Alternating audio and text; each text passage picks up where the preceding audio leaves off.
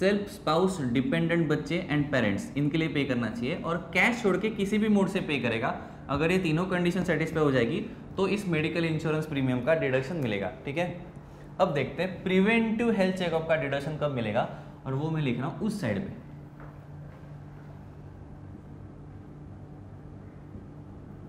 Preventive health checkup इसका deduction कब मिलेगा? If it is paid, by. Assessee. Assessee ने खुद पे करना चाहिए।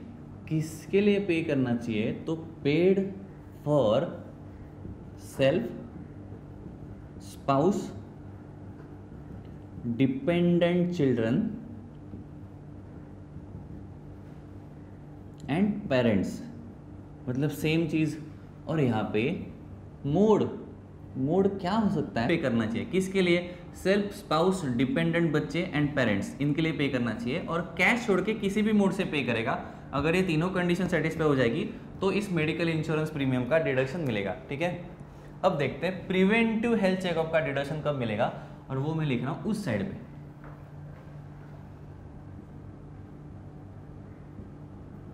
प्रिवेंटिव हेल्थ चेकअप इसका डिडक्शन कब मिलेगा? If it is paid by assessee assessee ने खुद पे करना चाहिए। किसके लिए पे करना चाहिए? तो paid for self spouse dependent children and parents मतलब सेम चीज़। और यहाँ पे मोड मोड क्या हो सकता है? तो एनी मोड इंक्लूडिंग कैश ठीक है? मतलब प्रिवेंटिव हेल्थ चेकअप क्या होता है? बीमार पड़ने से पहले मैं जो खर्चा कर रहा हूँ, उसका डिडक्शन अब बीमार पड़ने से पहले मैं मेरा चेकअप करा रहा हूँ, मैं डॉक्टर के पास गया, अब डॉक्टर लोग को मैं चेक दूँगा तो वो चेक लेंगे क्या? नहीं लेंगे। तो वहाँ पे तो मुझे कैश ही देना पड़ेगा। चलो मेडिकल इंश्योरेंस कंपनी को मैं चेक दे सकता हूँ। डॉक्टर के पास जाके चेक दोगे या क्रेडिट कार्ड दोगे? नहीं चलेगा, उधर तो कैश ही देना पड़ता है। तो यहाँ पे प्रिवेंटिव हेल्थ चेकअप का डिडक्शन कब मिलेगा? If it is paid by assessee for self खुद के लिए स्पाउस के लिए डिपेंडेंट बच्चों के लिए पेरेंट्स के लिए। और यहाँ पे मोड क्या हो सकता है? तो एनी मोड इंक्लूडिंग कैश अगर मैं कैश में मेडिकल इंश्योरेंस प्रीमियम पे करूँगा, मुझे उसका डिडक्शन नहीं मिलेगा। बट कैश में प्रिवेंटिव हेल्थ चेकअप अगर मैं पे करता हूँ तो मुझे उसका डिडक्शन मिलेगा। अरे बात समझिए क्या? अब क्या करना है? ये आधा पार्ट हो गया। ये बहुत लंबा सेक्शन है। तो पहले आधा पार्ट ऐसा का ऐसा कॉपी कर लो। उसके बाद हम इसके आगे का पार्ट करेंगे। अभी तक मैंने क्या बोला है कि डिडक्शन कब मिल सकता है? डिडक्शन कितना मिल सकता है, ये इसके बाद देखेंगे। तो पहले ये दोनों पार्ट कॉपी कर लो। सबसे पहले क्या करोगे? लिखो डिडक्शन फॉर मेडिकल इंश्योरेंस में हेडिंग लिख दिया। फिर लिखना इंडिविजुअल एंड एच इन दोनों को मिलता है। इसका शॉर्ट नोट हम लोग बाद में लिखेंगे। ये पहले समझने के लिए डायग्राम हमने बनाए हैं तो पहले इसको कॉपी करेंगे। सबसे पहले ये कॉपी करना, फिर ये दूसरा वाला पार्ट और फिर ये प्रिवेंटिव हेल्थ चेकअप कॉपी करना।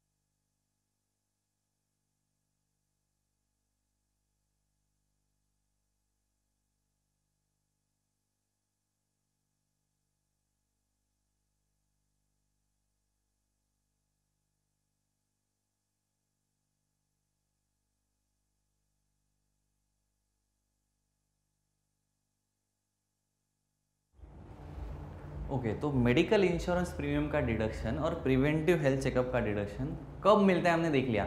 अब देखते कितना मिलता है। ठीक है तो मैं इसको हटा लेता हूँ। इसका नोट हम लोग बाद में लिखेंगे। पहले सारे डायग्राम्स खत्म कर लेते हैं। अब डिडक्शन कितना मिलेगा? हाउ मच डिडक्शन पहले देखते हैं मेडिकल इंश्योरेंस का कितना मिलता है।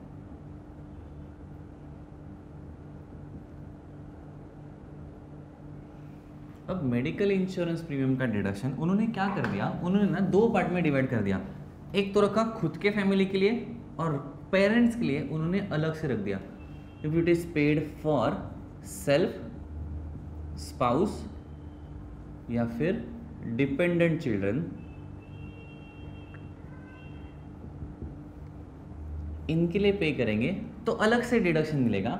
एंड फॉर पेरेंट्स पेरेंट्स के लिए पे करेंगे तो अलग से डिडक्शन मिलेगा मतलब अलग से बेनिफिट मिलेगा। अब देखो क्या होगा, खुद के लिए पे करेंगे, मैक्सिमम डिडक्शन मिल सकता है, maximum deduction is equal to rupees पच्चीस हज़ार। ठीक है? ट्वेंटी फाइव थाउज़ेंड का मैक्सिमम डिडक्शन मिल सकता है। इसका मतलब क्या? ये मेरा ग्रॉस टोटल इनकम है। सपोज़ दो लाख।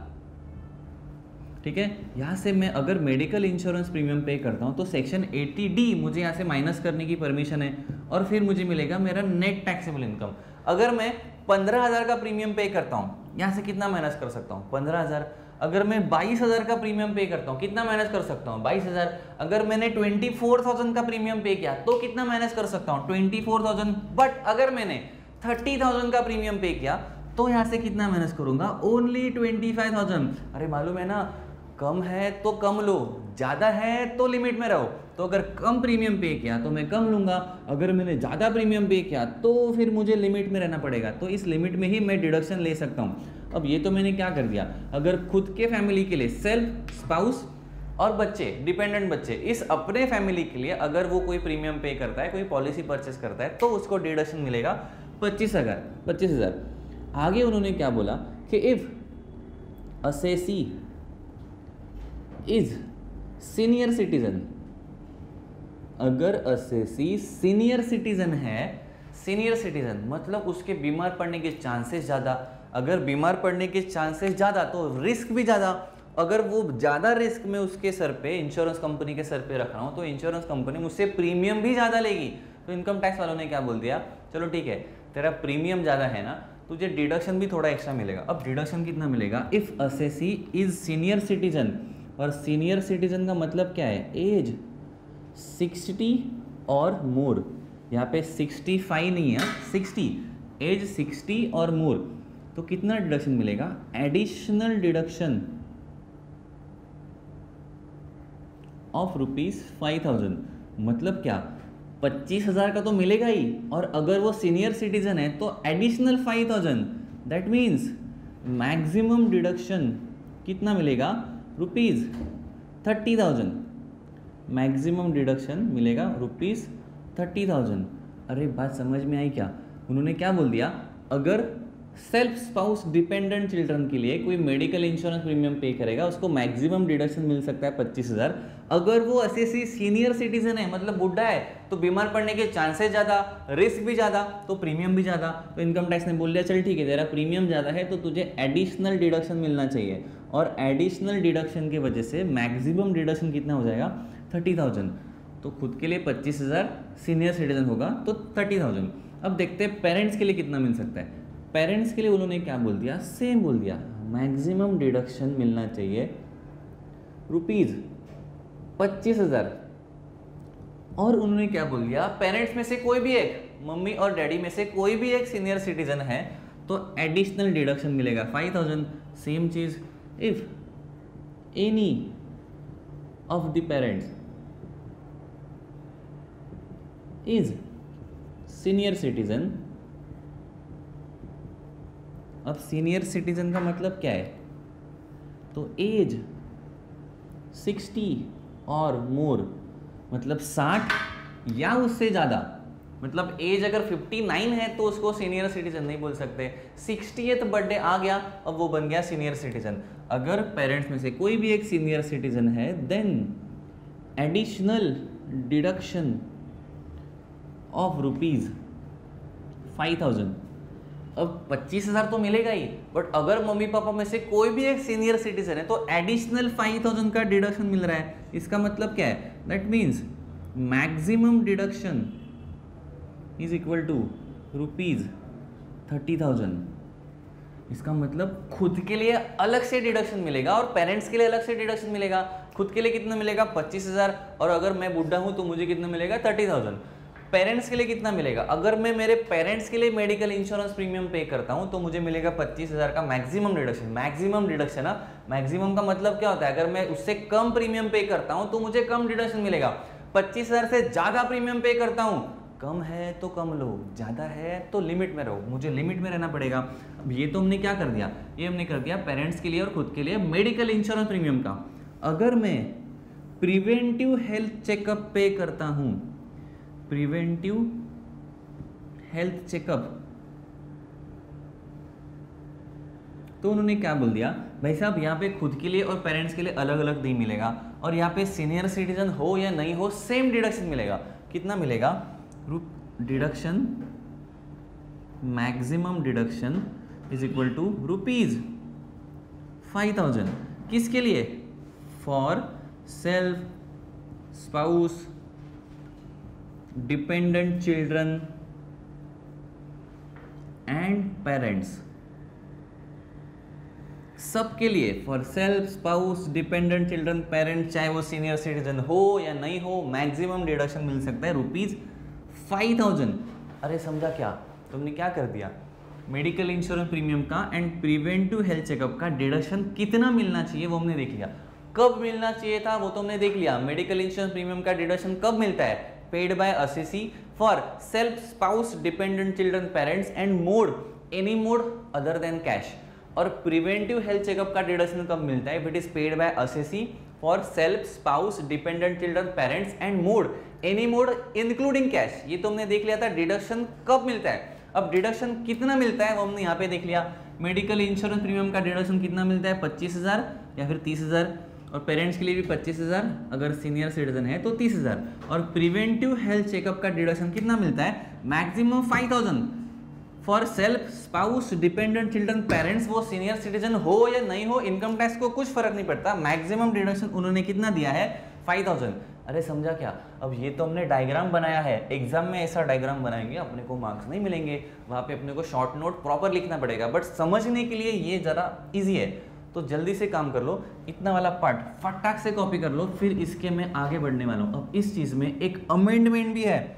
छोटी सी अमेंडमेंट पहले ये कॉपी करो, फिर मैं बताता हूँ अमेंडमेंट क्यों आई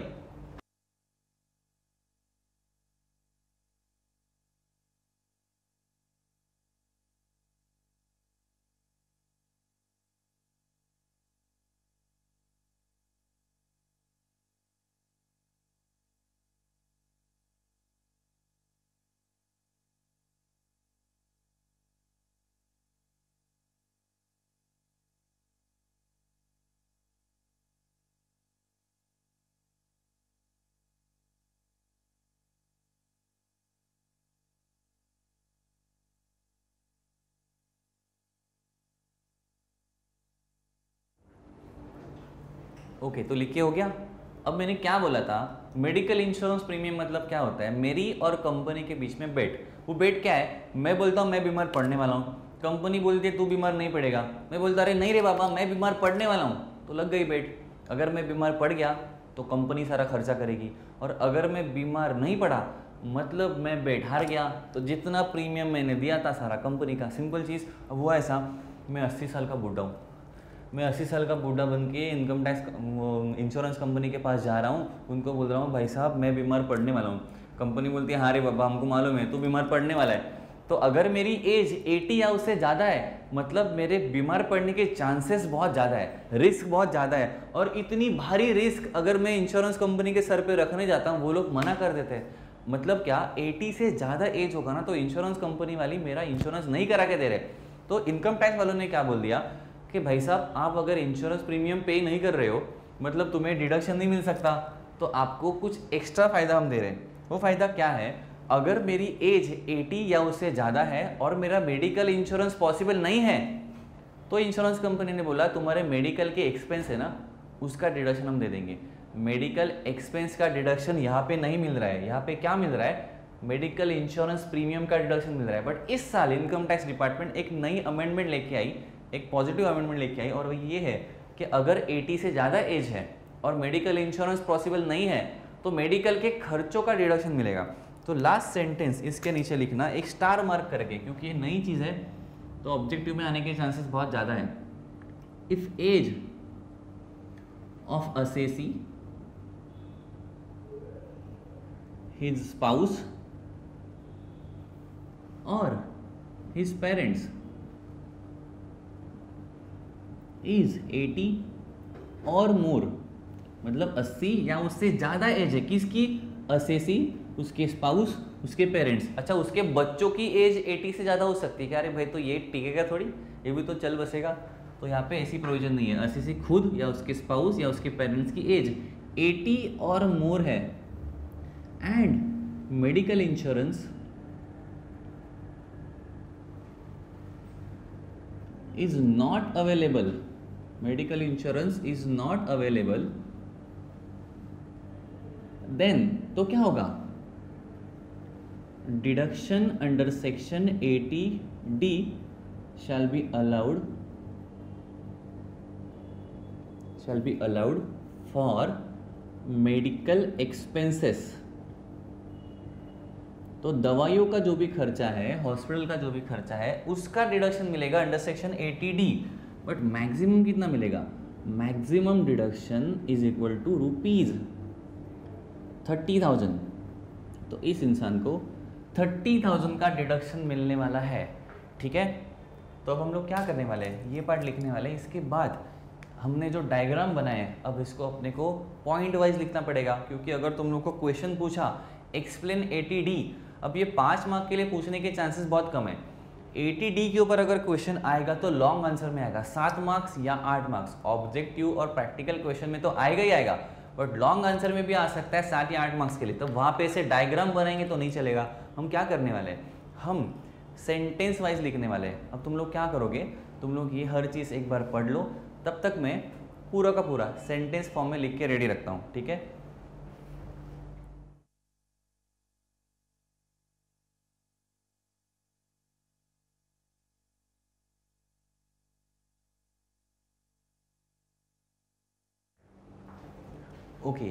पढ़ के हो गया।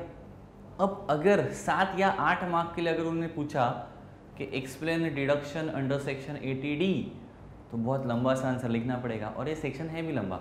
अब देख लो क्या क्या लिखना पड़ेगा। ये मैंने लिख के रेडी रख दिया। क्वेश्चन क्या है? Explain deduction under section D है कि नहीं? अब क्या है? Deduction under section D is available for medical insurance premium and preventive health checkup this deduction is allowed for individual and H ठीक है?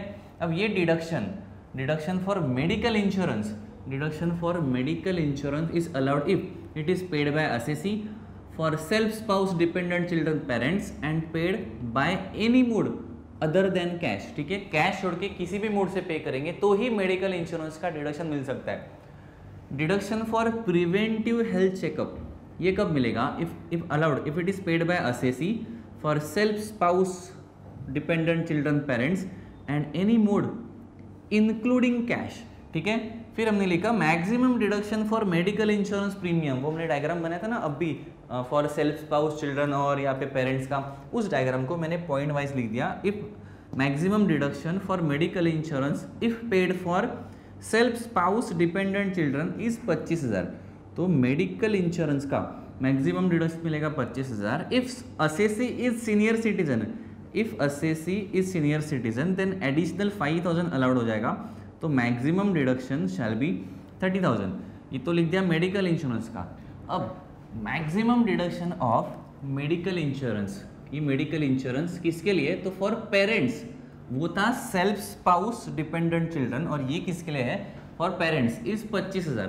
और पेरेंट्स में से कोई भी एक अगर सीनियर सिटीजन है तो एडिशनल फाइव थाउज़ेंड का डिडक्शन मिलेगा। That means maximum deduction shall be thirty thousand ठीक है?